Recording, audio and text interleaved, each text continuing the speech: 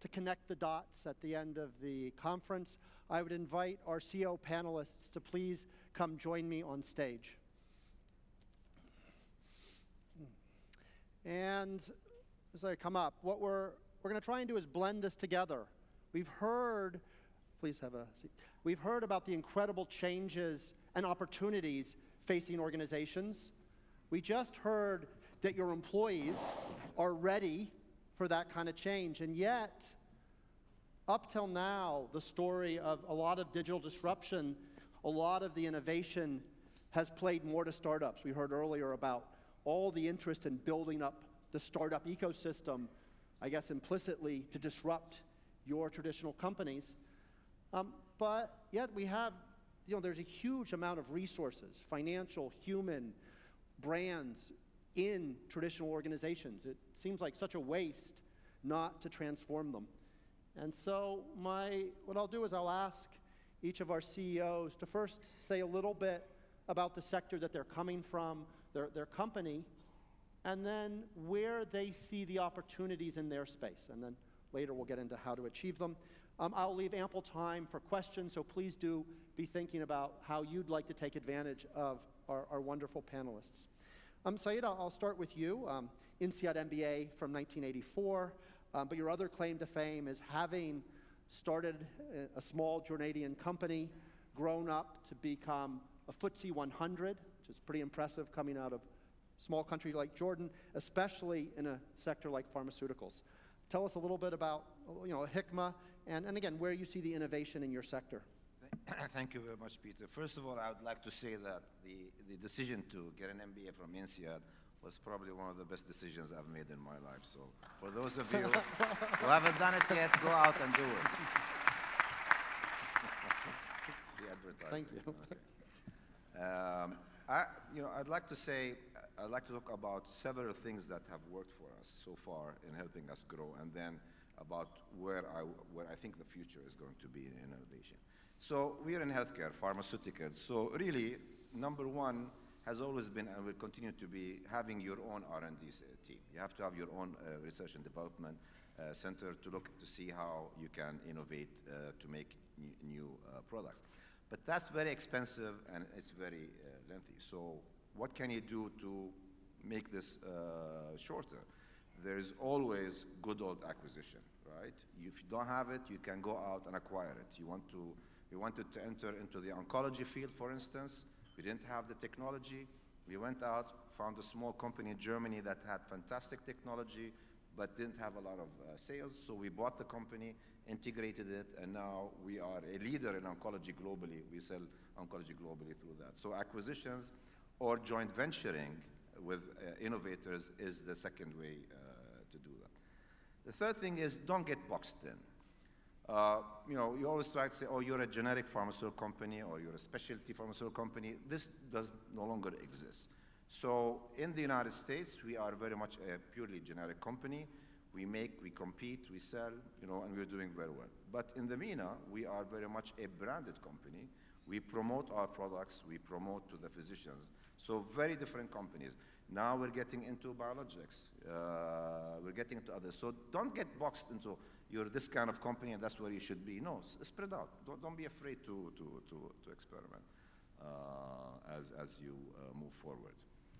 Um, where I think the future is, is, as we saw today, it was you know, demonstrated very beautifully uh, in the lecture early on, is the marriage of two worlds together, the healthcare world and the digital world. Technology and healthcare companies once they get, they are getting together, and once they get together, there's going to be, you know, tremendous opportunities out there.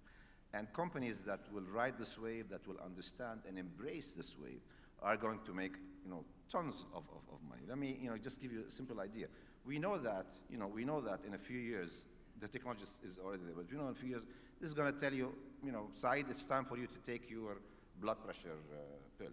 What I wanted to say is, Said, I want you to take you know, Unsum, which is my brand, right? So, so there are many ways that we can, uh, you know, uh, we can use these uh, developing technologies and getting these two uh, sectors uh, marrying and, as I said, making uh, tremendous opportunities for us.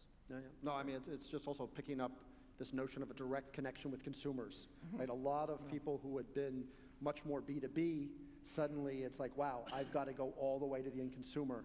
And I, I think healthcare is one of those. Um, okay, um, maybe we'll go with uh, Tarek.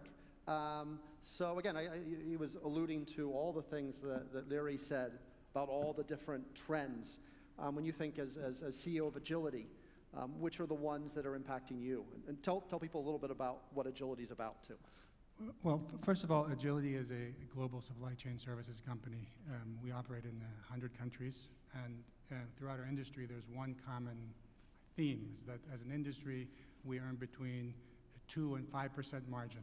And um, it, it, tells you how close we are to being arbitraged out of the, the market. So I think it's important to pay attention to some of these, these themes that we talked about uh, uh, today. I think the most important for our industry, clearly, is this concept of the sharing economy. Um, um, if you were to look at the airplanes that are flying around the world, the ships, airplanes, 50 to 60 percent of the, the airplane, airplane sort of space is just basic air. So there's a, we have a long ways to go to become to becoming efficient and being able to actually utilize that capacity efficiently. It tells you how big of an opportunity there is for somebody that can come up with a bright idea better way not to fly air around the world. It sounds ridiculous, but, it's, it, but it, is, uh, it is true. Uh, secondly, this, this area, this concept of the cloud. In our industry, the top 20 companies, the largest 20 companies, only have 20% of the market. The other 80% of the market are basically small and medium-sized enterprises that, for one reason or another, the large global logistics companies can't really cater to. Uh, what's the reason for that? You can read a lot, but my gut feeling is that the larger companies are not able to service that segment in the way that they want to be. They still have very detailed customer service requirements, they have very exacting needs, but they just can't get the level of service that they need from the, the larger companies. And a lot of that has to do with technology and the cloud. And I think going forward, um, what we're going to see is the, that the cloud is really going to enable these, these, these smaller companies to get service and at the same time, you know, demand more and more service from the larger companies. Thirdly, concept of big data. Um, we, we recently hired a data scientist in our company, and it was quite interesting because you know, people uh, actually resonated. There were people that said, you actually hired somebody smart for once in a logistics company. And uh, um, so clearly there's a lot of work that needs to be done to figuring out how to use big data. I mean, I think as a company, we weren't um, uh, prepared for it, but we're, you know, we're starting to, to, to, plan and think about how to. So any of you guys looking for a job in that area, clearly I think that's a, a an easy avenue uh, uh, to sort of position yourself for, for employment going, going forward. But um, I, I, think that's going to be a tremendous, um, have a tremendous impact on the way our industry uh, works. Fourthly, the digital supply chain. Um, I uh, met uh, a few weeks ago the CEO of the Bank of Palestine who had a problem. I mean, his, you know, there's a lot of security issues, obviously, in, in his country. It's difficult to get payment to, to, to small and medium-sized enterprises. And, you know, credit cards don't really work. Um, um, and so they came up with a very innovative way to actually get payment to the, um, uh, to the, to the merchants. And had a tremendous sort of multiplier effect for the economy in, in, in Palestine. And, and initially, um, he had he tried to joint venture, I think, with a company called PayPal. Didn't work. He called his PalPay, and uh, uh, which is which is quite funny. Um, they didn't want to have anything to do with it. A few, I think, a few years later, they came back and said, "Listen, you know, we we um, you know we want you to stop using that name." He says, "I'll be happy to stop using the name when um, when you come and sort of operate in our market." But the fact that um, that, that these sorts of technologies are required in difficult markets to, to solve solutions that are not, not always sort of obvious to us in the sort of developed markets, but in the emerging markets, there are many problems that need to be solved that way, and the best way to do it, obviously, is sometimes through, the, through innovation in the digital supply chain. Uh, two more, and I'll be very quick with these, is the area of um, 3D printing and robotics. Clearly, the way um, companies are manufacturing products, it's going to change, obviously, the, our customers' uh, needs and requirements. An example is a company called uh, Conformis. Conformis is a company that makes uses 3D printing to make joints, uh, basically knees and hips. And if you look traditionally at how that business used to work, um, company, the, the surgeon would have um, 15 different size joints in the operating theater and kind of guess which one would sort of, uh, uh, you know, this one's a couple centimeters too big, he hammers it in, changes it. Now they actually can print those joints and it comes and it's delivered sort of, you know, a couple days before your surgery. So you imagine the ramifications for the operating room um, um, in terms of what needs to be sterilized, what doesn't, what needs to be in an inventory, and how that whole cycle works. That, I mean, that's a pretty, you know, you know, big, uh, a big change. And finally, this concept of the Internet of Things. Um, uh, again, if you, um, we look at some of the companies that uh, we were, there's a company called Canary, and they, they, they make um, a, a little security, home security device. And that security device has, has, has a speaker, it has a motion detector, it has infrared, and it's wired. So it's connected to, it's connected to the internet. That company um, is probably, if you look at it, it's probably a competitor for Siemens and their security systems going down in the future. All of it goes out to the sort of Dropbox. You have all of your security, and it's for $200.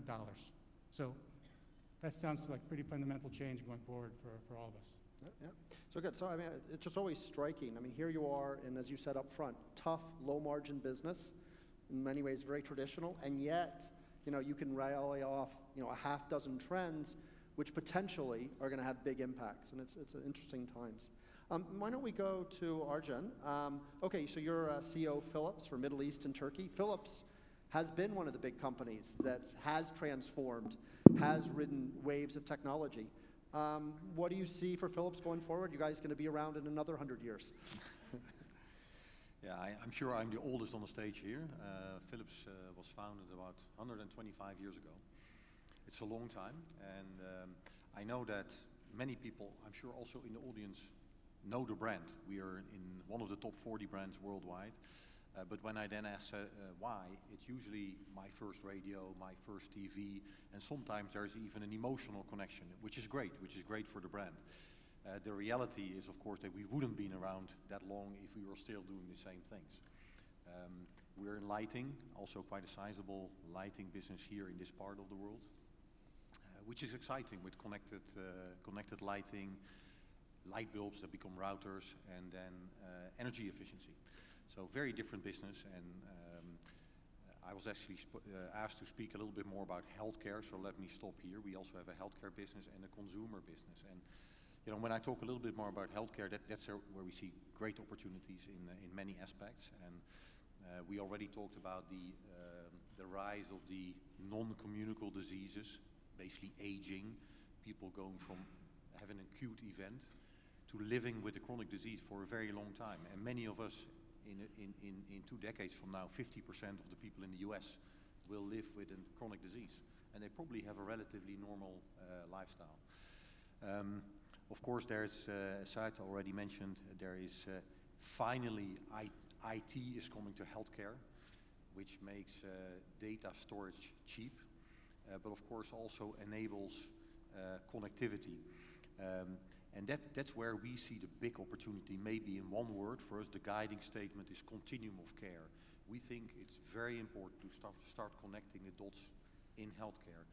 Um, consumers are taking ownership of their own personal health. We saw a jaw, jawbone on the stage this morning, but many of you are wearing something that measures your personal health today. And there's a great opportunity to take that, that attitude towards, let's say, healthy living into prevention and combine it with your medical data where you talk about diagnosis, treatment, and home care. And I think connecting those five steps, and we, we, we call, call out these five steps, that for me is the big opportunity that we call continuum of care. And maybe just to leave you with an example, and, and I think it's an example that also shows that this is not a dream, this is possible today. Um, and I think it also shows what an opportunity that, uh, that Continuum can offer. Um, today, we, uh, in cooperation with, with others, because it's complex, so we have to work together, are treating chronic heart failure patients. We do that in different parts of the world. Um, but I was in Singapore before. We do it in Singapore. And you can find in the scientific literature that if you treat chronic heart failure patient home, so basically you prevent that they have to go to the hospital, and if they go to the hospital, they are the most expensive patients um, in, the, in the cost pyramid. So if you're able to do that, you actually see outcomes that are 30 to 50% better in terms of cost and in terms of quality of, of care. And I think that's where healthcare is going. It will all be value-based, outcome-based, and we see a huge opportunity there. Uh, opportunity there. Yeah. no, I mean, healthcare is a fascinating one because huge part of the economy, huge pressures in most countries on the cost side.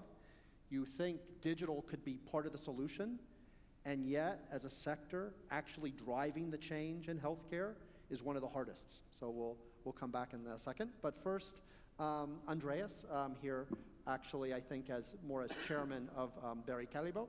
Um, what do you see in the sector in terms of where there's pressures for change? well, first, let me share with you who is Barry Callebaut. It's probably the company that's the furthest away from healthcare. We produce chocolate.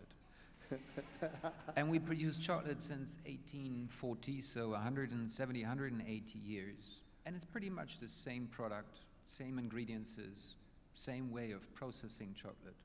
So we are probably the company that has resisted the most to innovation. Yet, of course, you know, in the world of obesity, where consumers demand for more healthy products, we're a little bit under pressure because we're the second largest purchaser of sugar in the world after Coca-Cola, and we produce, we use a lot of fat, so we're not healthy at all. so at some stage we thought, you know, with Obama administration coming in and chasing us through the courts and uh, the corridors and so on, we said we have to work on more healthy chocolate, which of course you all don't like because healthy chocolate sounds like not tasting chocolate. So who would buy chocolate that doesn't taste? So we were, of course, first doing a bit of innovation on the recipes, changing sugar into artificial sugar and, you know, less fat or maybe more healthy fat. But to me, honestly, that's not innovation, that's standard. Renovation has nothing to do with innovation. So let's not confuse renovation with innovation. So we had to go a little bit further. And I went back, and we all went back in the company, looking at the books of our children, the books of history. Where does cocoa, the main ingredients of chocolate, where does it come from?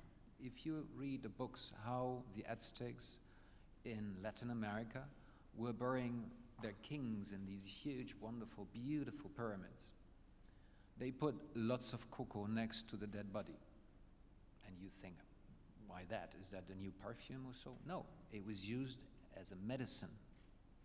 So, how can the key ingredient for unhealthy chocolate be a medicine? So, we went to the laboratories and checked it out that there is about 230 very healthy elements in a cocoa bean. The stupid problem is that since we make chocolate since 170 years, all these healthy elements and the process of making this cocoa first and then the chocolate, they all get lost. Nothing left. So we were working on how can we keep all these elements, the flavonols, polyphenols, and so on, in the chocolate. And that became, I'd say, not a renovation, that really became an innovation. Which means today we can pretty much say in which chocolate is how much flavonol, polyphenol, and so on because we are not a consumer brand company, we are a B2B company, we are kind of the Intel of the chocolate companies, uh, it is our obligation to do all this and then sell the chocolate to the cookie guys or the chocolate ice cream guys or the chocolate guys or a hotel like this.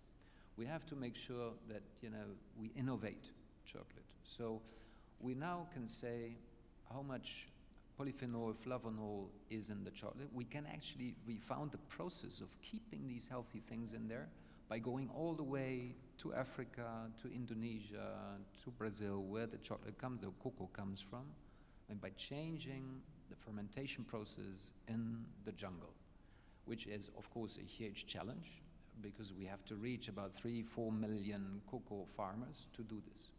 But that's, I think, was on our side innovation process on the product, on just on the product.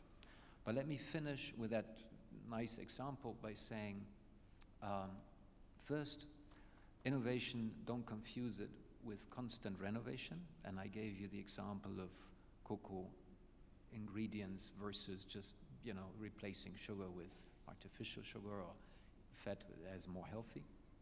And the other thing, of course, is uh, I believe that innovation really is something that is a DNA of a company. It's a culture. It doesn't come through a good idea alone. It's much more. And I hope we will have time to share this here on the podium to how to create innovation, um, not just as one idea, but as a culture in a company. Very good. Thank you, Andreas. Um, I think I'd like to pick up on what Andreas just talked about. Two things. One, coming back the, with um, Said again, you know, how, what, what have you learned about how to lead innovation in, in a large company? And again, you don't have to pick up on this, but the other thing that comes up, what you see, and especially some of the examples Andreas brought up, oftentimes innovation stretches beyond your organization, right? It's not enough to just create the product here. You have to get the suppliers, the, the customers also to innovate. Um, but again, either just inside your company or in the broader ecosystem, what have you learned about leading innovation? Again, because you know our company started in a small country like Jordan that is not known as being a, power base of innovation, uh, so on. So we had we are not by you know by our DNA an innovative company. We have to learn and, as I said, find ways to to stay ahead of our competition. As I said, one way was to acquire uh, joint venture and acquire companies and technology. The other thing that we have just uh, did to stay up to date with the innovation and the digital world and others is we have created a venture capital fund now. And that fund uh, you know, will be managed by experts, but its sole uh, purpose is to follow up on where the technology is going, to invest in uh, biotechnology, to invest in uh, you know, technology, digital technology, and so on. So the, the point is you always have to find ways to give yourself an edge. Uh, if you don't have it, find ways to get it. If it's not in your DNA, find ways to get it into your DNA. So this, uh, we found that uh, very helpful, you know, the venture capital fund that we opened up a lot of doors for us. Uh, it allowed us to interact with so many new innovators and hopefully, you know, we can take, uh, deliver some of that innovation back into our company. Very good, yeah. So again, this theme of being open. Maybe we'll, maybe why don't we jump over to Philips? I guess you've been, your company has been in this game for a while. Um, as you said, they don't you know, make TVs anymore. You've had to move. What, what's the sort of wisdom in, in Philips about how you stay relevant? Yeah, I, I think that um, um, you know, at the end of the day, it's, it's a fundamental decision. Uh, we, like every company, we have limited amount of money to spend, um, and we decide to spend 8% of our sales on innovation. And it also means that if you spend that money on innovation, uh, you potentially cannot spend it on marketing. So I think that's a very conscious decision. Um, I think every company takes their own decision, but that's a decision that Philips has taken over uh, over the years.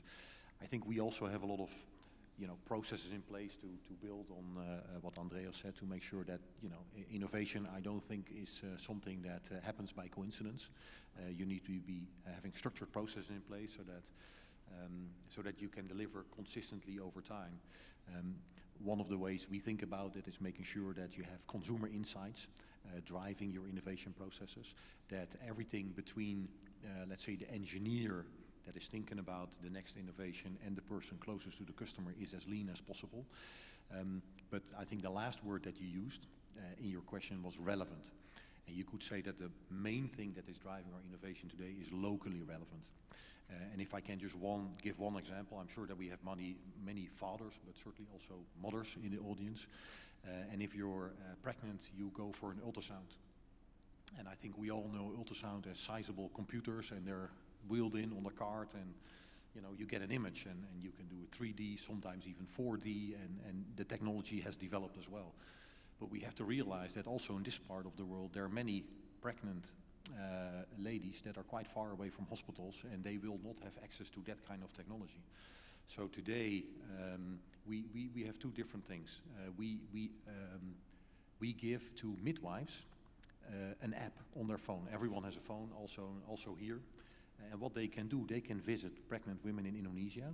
They can collect vital signs, and they, through normal bandwidth, they communicate the, uh, the data to a hospital, and the hospital will then, uh, will then triage.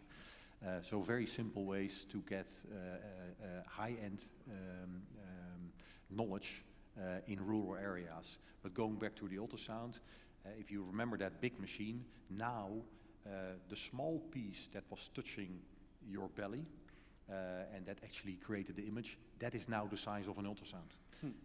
And that you can take anywhere. We even give it as a rental model, and you can stick it on your own uh, wireless to your own mobile phone. So that, ha- that means that you have sort of your own mini diagnostic ultrasound with you, and obviously it can go anywhere. And for me, that's a good example of how you can create something big, high end, for an environment where that's appreciated, but you can also make it s- small, portable, and of course at lower cost for environments where that uh, is the most uh, uh, pressing need. Good, Thank you. Uh, Maybe over to, to, to Tarek at Agility. So as you said up front, you're in a, here you're in a business, lots of change, but low margin environment. How do you reconcile the need to innovate with being in such a sort of a, a- a tough, low margin environment? Well, it sounds like our advisory board discussion, and there's two, there's two groups. There's the one group that says, you know, this, all this sort of technology, some of the things that we talked about today, really is, at the end of the day, is not gonna be that relevant to our business because you need boots on the ground. And they point to examples of failed um, um, um, areas of innovation. And there's two, I think, in, in our industry that are quite topical.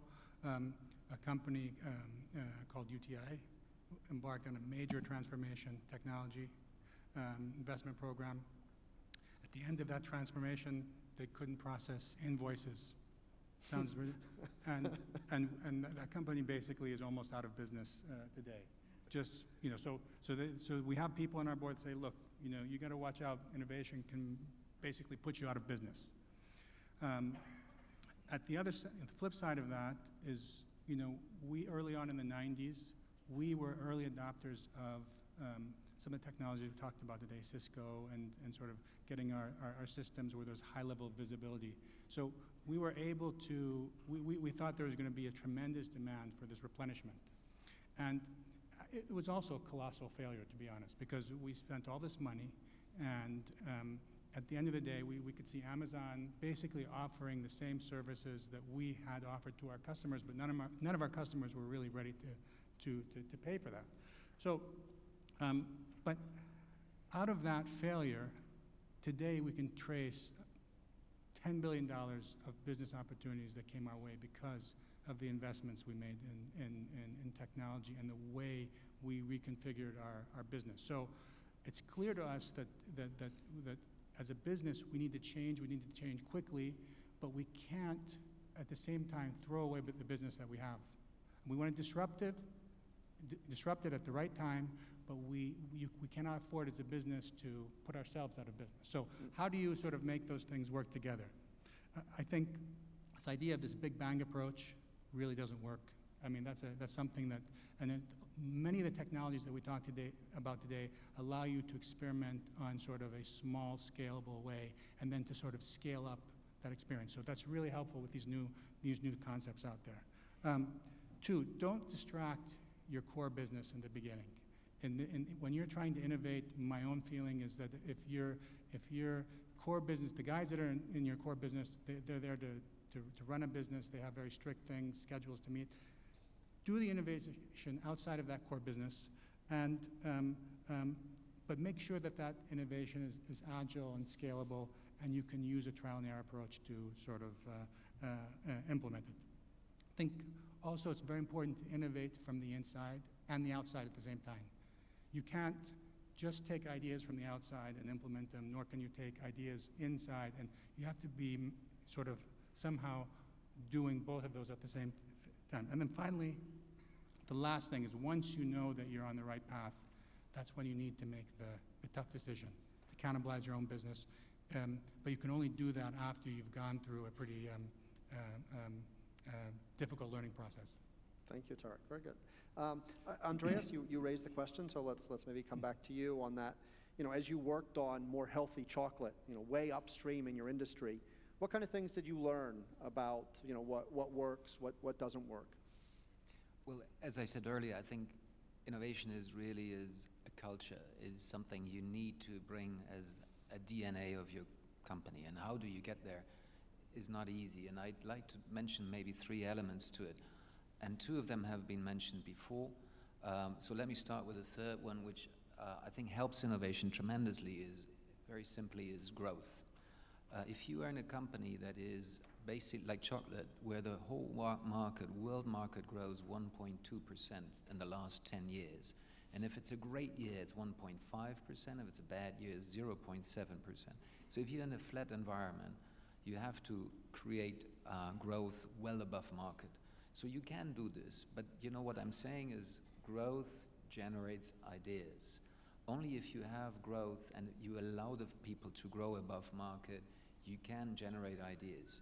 All these food companies, and I refer to the 3G culture, which we hear, you know, from InBev to Kraft to Heinz, uh, all these uh, companies are focusing clearly on cost cutting, on cash, great for shareholder returns, but bad for innovation in the long run. And I hope history books in 10 years will write about it accordingly.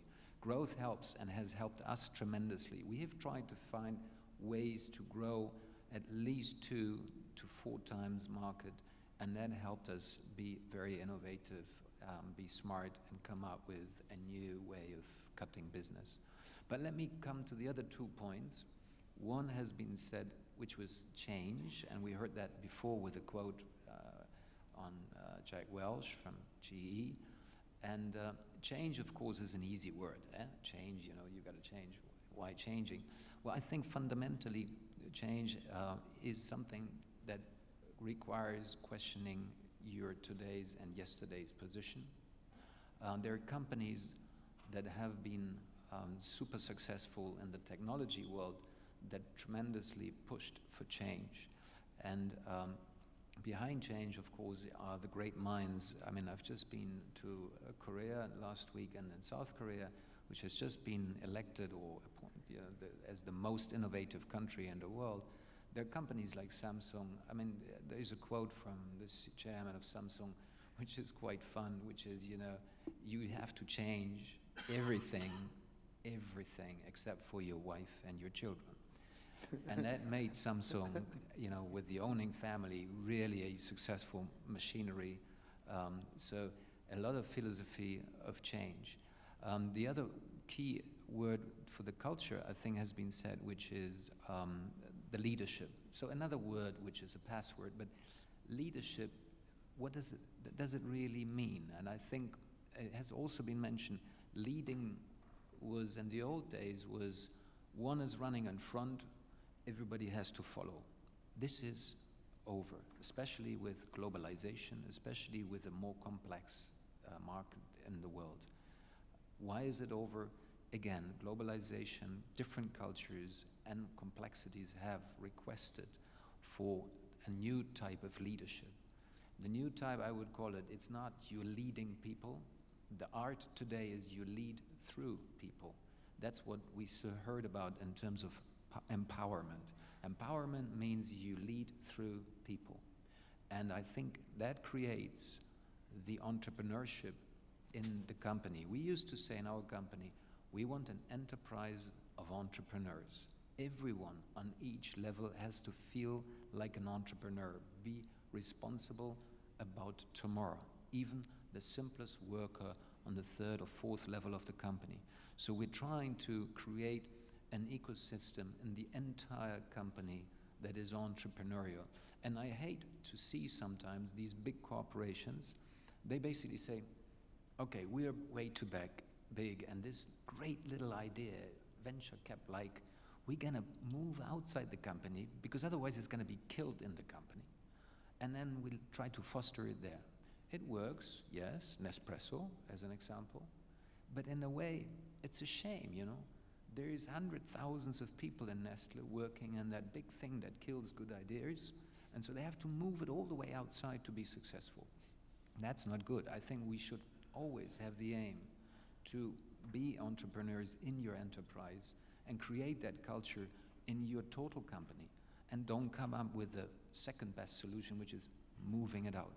So again, it's about empowerment. It's about an ecosystem that is an entrepreneurial, a startup thinking system. And again, I think the key success for creating this is this feeling of ownership, of entrepreneurship of each and every level. This, I think, has helped us a lot, and uh, I think, you know, if we can create that wherever you are in the world, fantastic, you will be the innovator. Thank you, Andreas. Let me um, pause and open it up. Let's see if we have some questions uh, for our panelists. And just remind you to briefly introduce where you're coming from uh, as you answer, answer your question. Yes, here in the front, please. Just wait, there, a mic will come. No, it's good. Uh, Thank you. Muhammad Yusuf Banias, uh, Abu Dhabi Education Council. My question is to the colleagues. Uh, Why you find sometimes, uh, you know, the practitioners in the medical field, they are more resistant to adopting technology and to change? What's the reason, what's the root cause and reason behind that? Thank you. Did you get, who, I, I- heard, just a, I heard resistance to change for adopting new technology. Who's resisting? Ah, yeah, so let's, yeah, so let's talk on the, uh, it would be interesting to, to delve a little bit into the medical side. You know, what is it really going to take to, to, to move the, the medical, uh, the medical ecosystem in the way that we have to, given some of the pressures? I'll, I'll put you, Said, on, on, on the spot first. Um, yeah, I don't know if I'm going to answer that directly, but a few years ago, my daughter was interning. Uh, she spent the summer uh, at Hikma with us, and after you know spending eight weeks, she you know she rushes into my office and says, "Dad, you hire the brightest kids because we have you know this is something we really you know hiring the brightest is something that's very high on our agenda. So we really put a lot of effort." So she says, "Dad, you hire these ultra bright kids, you know, bright people, and then you make them follow the most rigid rules."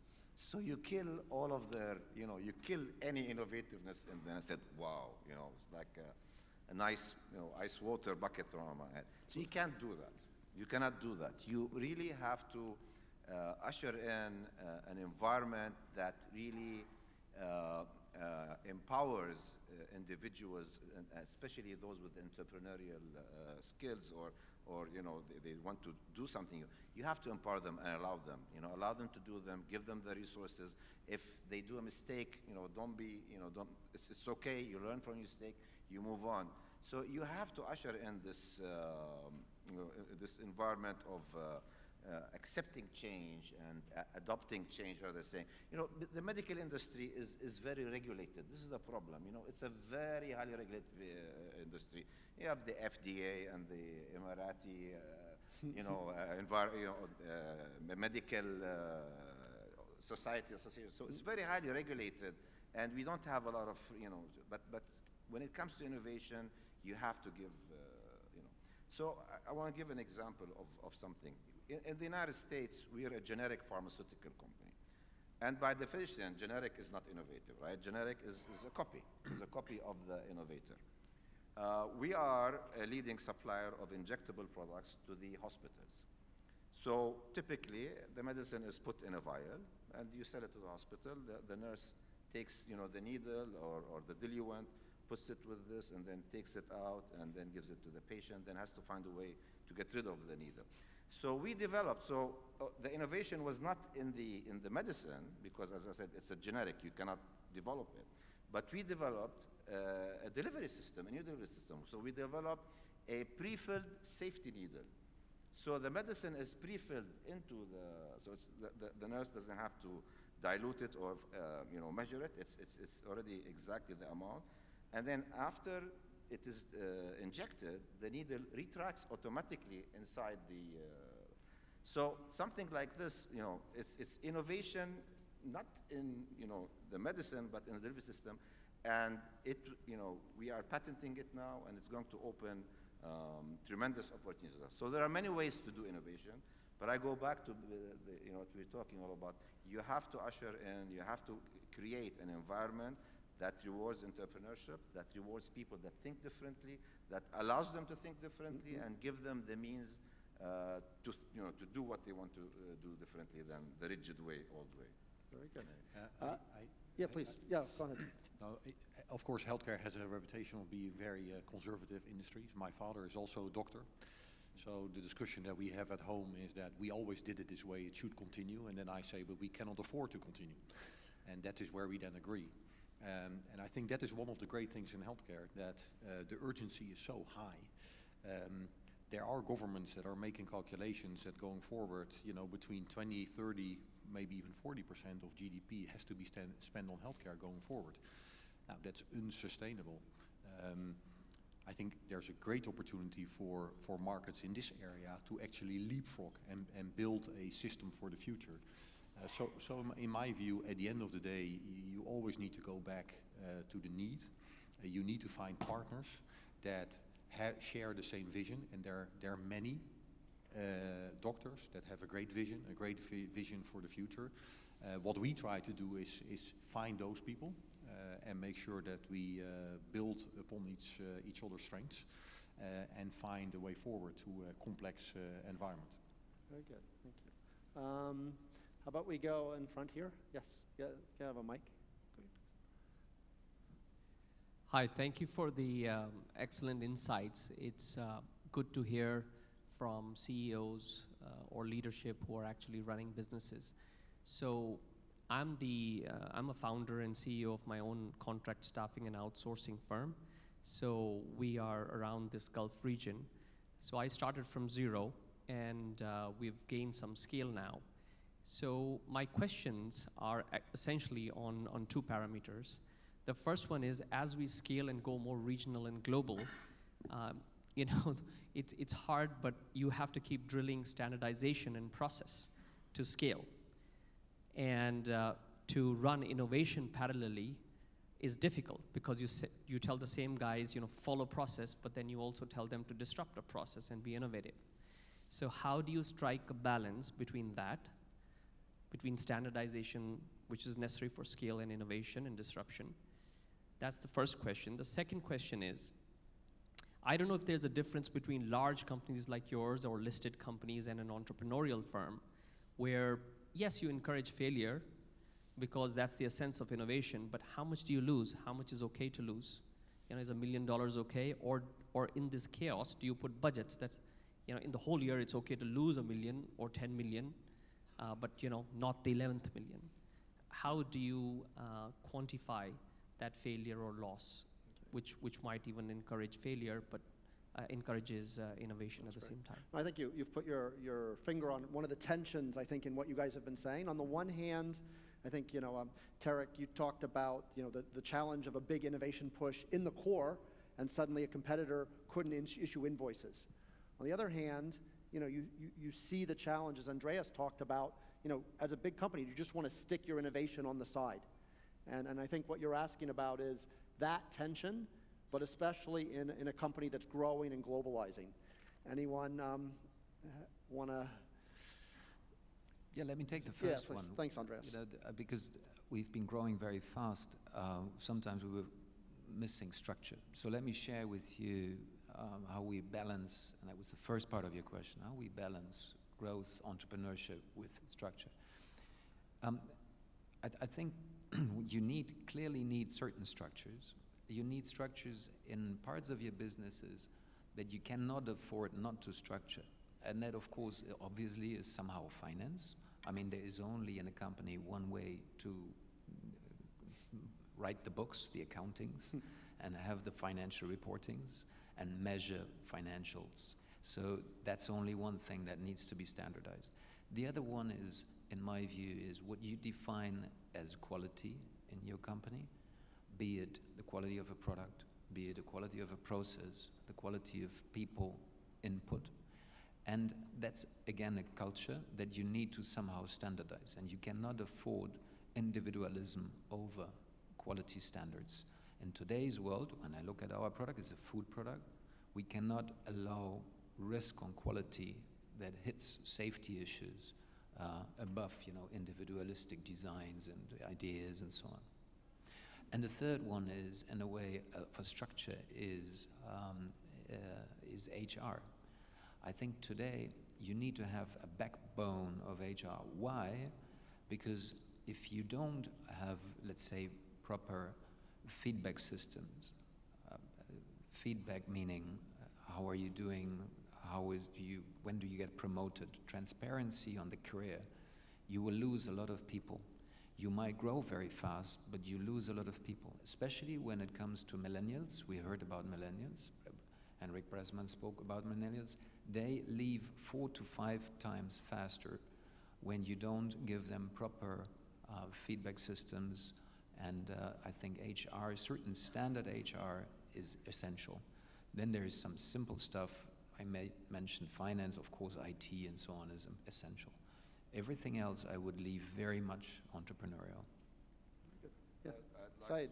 you know, I'd like to, to, to add to that. I, I keep remember something my father always used to teach me as we start, you know, we, we started in the Middle East and then we went to Europe and then into the United States, moving to Africa and Asia. So we have 28 different nationalities in, in the company today. So how, how, how do you manage, you know, uh, this diversity and how do you keep them focused? So the thing they always taught, used to tell me is there, there are values and there is culture. Values never change.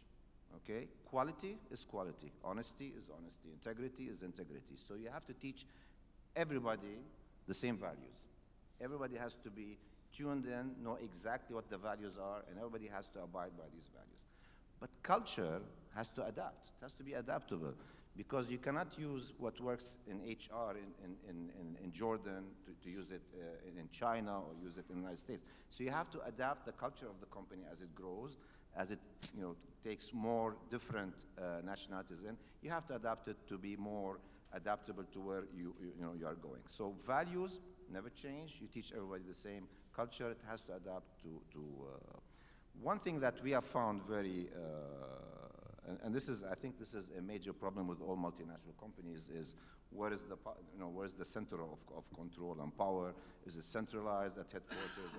One thing that we have found to, to be very uh, helpful with us is that we have decentralized the, uh, so local leaders have a lot of authority, have a lot of responsibility, uh, and accountability, of course.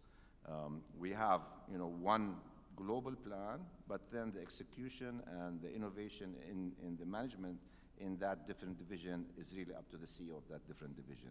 So, you know, I hope this is helpful uh, to you. Yeah, please. Just, you touched a nerve. That's good. Two, yeah, two, two quick uh, comments. Um, in 1997, we had 300 employees. In 2006, we had 30,000.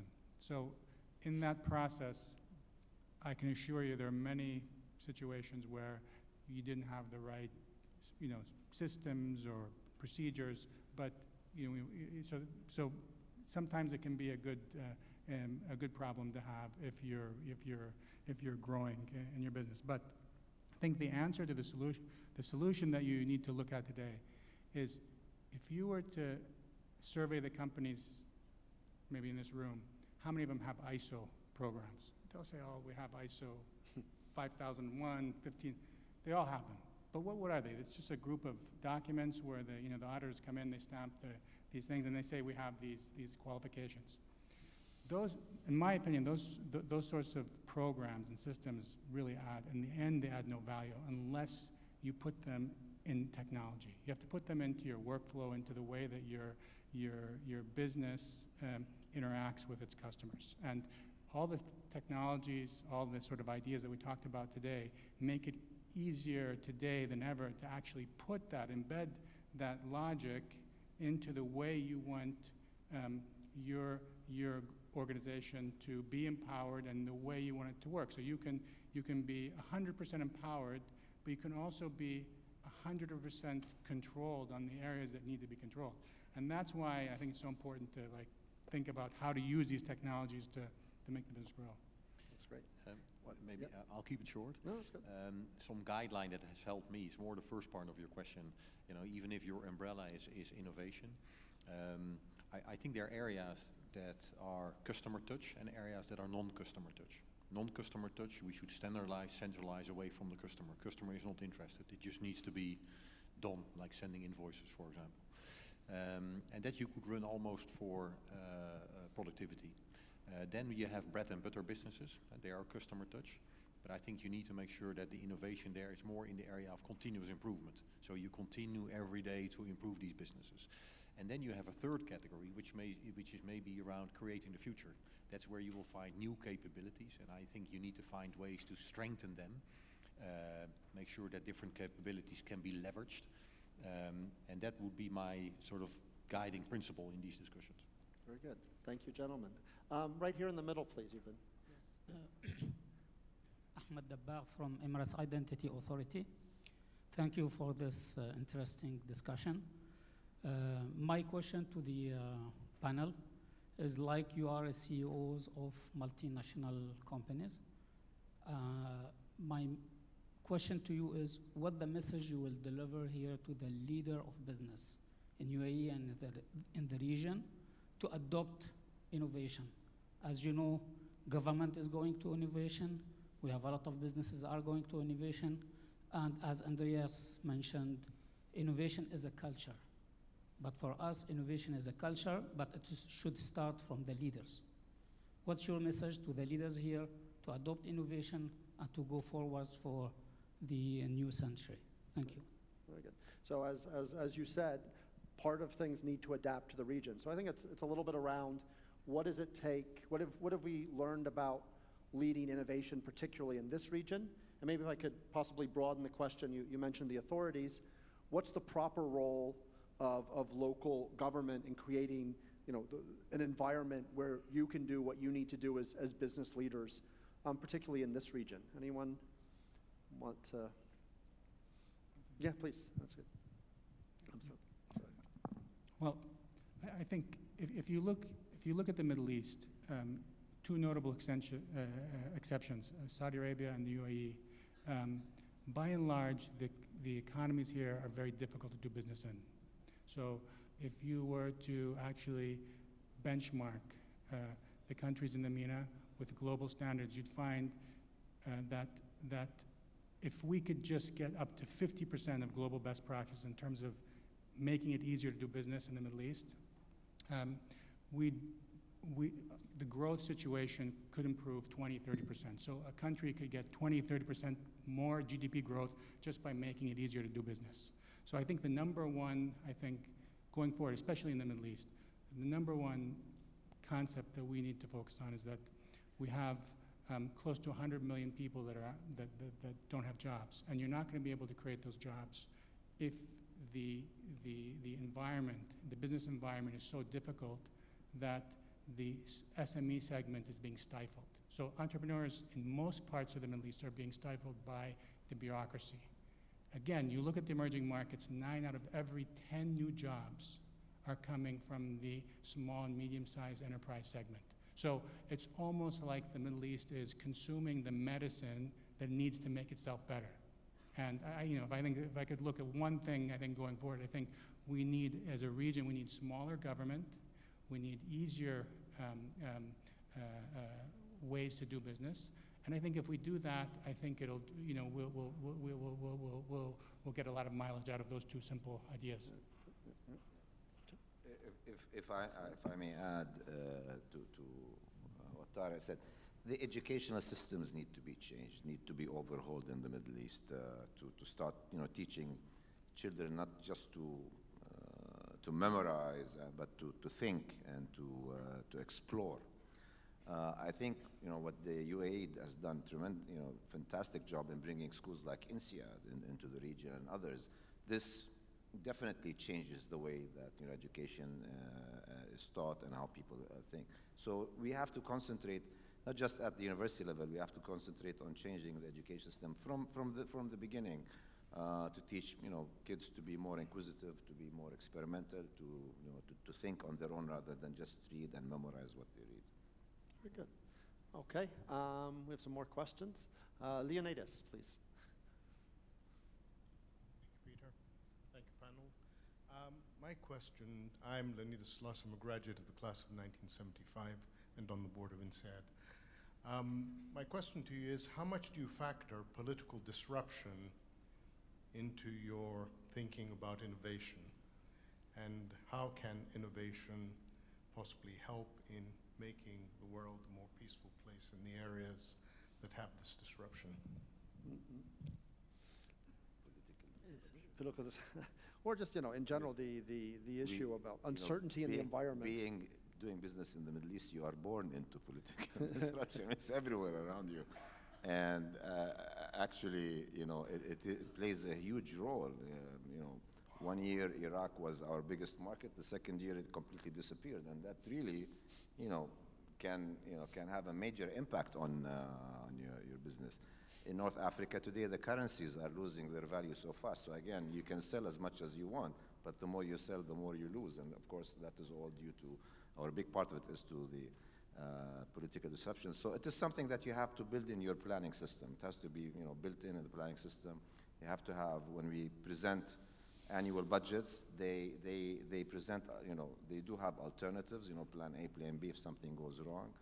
Um, one of the reasons why we decided to go outside the Middle East and become more international is this: is also to become more diversified, diversify our risk geographically, and you have to diversify your risk from the products that you have. You know, the more, you know, hopefully, the more products you have, the more uh, diversified. But yes, definitely, it takes, you know, it plays a big role in in our planning process. We, you know, we continuously think what might happen here, what might happen there. Is it a good time to invest in Egypt? Is it, is it a good time to invest here or that?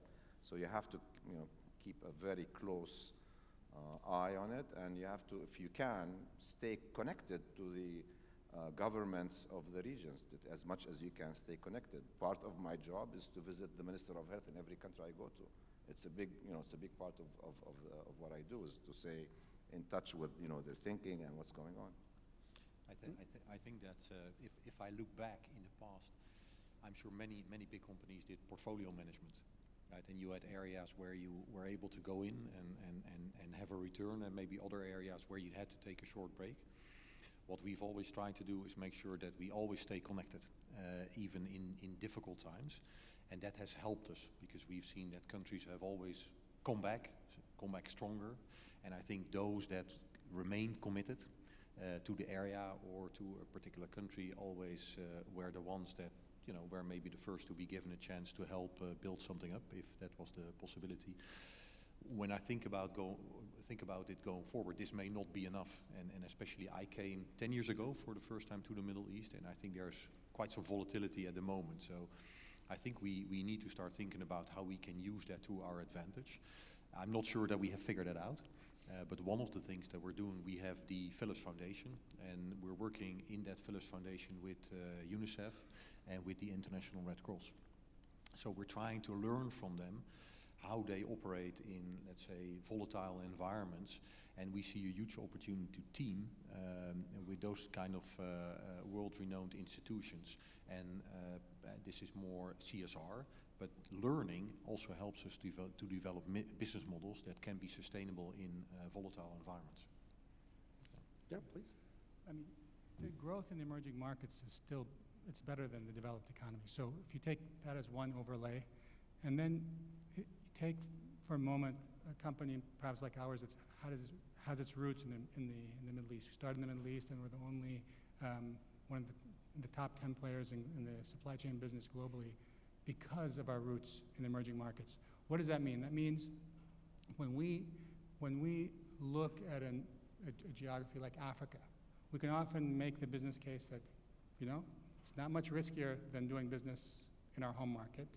Um, it might be, might be even, I mean, the way, if you, if you really look at how things are developing in Africa, we're seeing some good examples of governance there at, at some of the, the, the, the, the country levels. In many cases, better than, uh, than countries in, in the Middle East. Uh, so having, you know, starting from an environment, a risky environment like this, makes you, makes you perhaps more tolerant and more open to look at risks that are necessary to take um, to actually achieve a value proposition for your, for your, for, for your, for your global customers. And at the you know, end of the day, if you take, take Nigeria, Nigeria, um, I think they consume about 50,000 automobiles a year, roughly the same size as Brazil, which two, I think 3 million. So you look at that and you say, well, okay, what, what, how can you explain that difference? In Nigeria, it's probably two or three new roads or major highways would actually triple the demand of, of uh, or consumption of vehicles. So, you know, you, you look at it and say, well, maybe that's an interesting place to, to, to start developing a, a future. It's difficult, yes, but, um, um, you know, you have to be there, your customers want to be there, and coming from the Middle East is, I think, an advantage. I'm going to now, unfortunately, wrap things up. I'll ask each of our panelists if you want a, a final word as, as we also look to, to wrap up the, the conference today. Um, as the topic is open, although I'll, I'll just say one thing on theme, as I often talk to our young MBA students who are today increasingly you know, debating to what extent should they go and work like they all used to for big traditional companies and help you with your challenges versus you know, the increasing dream of going to a startup or to smaller, smaller ventures. Um, so, you know, final thoughts, but including on this question, you know, to what extent are we going to see more innovation and action um, in the big companies going forward? Um, Said, I'll uh, kick well, us off. Yeah, um, yeah again, what, what, I'm, what I'm trying to do is instead of building, like you said, the big traditional company, is, is to build a combination of small entrepreneurial companies. So instead of having one big rigid company, let's build smaller companies that are more entrepreneurial, that are more managed by uh, people from, you know, from that particular region, uh, and as I said, giving them more uh, opportunity and, and, and responsibility. So that way you can still attract uh, you know, don't present yourself as a big rigid company, but as, as I said, more entrepreneurial. So you can attract the kids that are more entrepreneurial, that want to, you know, we saw they want to get to the point where they make decisions, where they have the power to make decisions very quickly. So you should do that. Uh, one thing that we are not hung up on is, is experience and age. You don't have to be, you know, 20 years in the company before you reach. No, if you're smart enough, you're driven enough, and, and, and you know, you're innovative enough, you can be you know, you can be in a position of power at a much younger age. I think that's, that's very important. That doesn't have to be, you know, you have to wait for the next the guy on top of you to leave or die before you get into their position. You can actually, you know, jump over them if, if you're qualified enough. I wanted to give just one, one last word to, to you. In this region, manage cash flows, okay? Cash flows are much more important than profit and loss and sales. uh, Anyway, uh, very good. Tarek, uh, closing thoughts for us. Well, for this, I think, group, I think um, if you have a, the opportunity to work for the government or work for the private sector, start your own business, definitely try to start your own business or work for the private sector. Uh, I think the, the, the, last thing that we need in, in this region is more government, bigger government. We need smart people to work in their own businesses, and we need them to basically be the agents of change going forward. So resist that, that, that, that, opportunity that comes from you. It looks nice, the paycheck is nice, the but in the long run, it's probably not the best, uh, I think, opportunity for you. So make a contribution today. Arjen, some final yeah. thoughts for us? Yeah. I'm not sure that my career has been a, a product of great planning, uh, but I, I, came from elsewhere here. Um, and, you know, I think the role of the CEO is, is maybe not so traditional anymore. The way I look at my own role is that my, my reason for being here in this area is that I do new business development. That is what I do. That is my key role. There are a few things that I maybe do on the side. And I, I think therefore the question, you know, should you go startup or big company? I think you can do entrepreneurial stuff and you can develop new business, new business models, you know, in any location. And, you know, ultimately everyone then basically have to decide where they feel themselves more, uh, more at home. Thank you. Andreas, any uh, last thoughts for the group? Well, I, I always say uh, to my friends that ask me the question, three things have to be super good, have to be all right. The first thing is, and it's irrelevant, sorry, it's irrelevant whether it's a small company, big company, public or not public, and so on and so forth. The first thing is the product.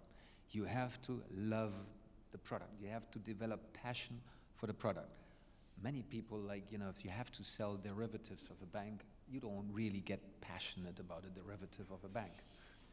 if you get passionate about chocolate, talk to me. if you get passionate about education, talk to Ilian or Peter or to me. That's a great product.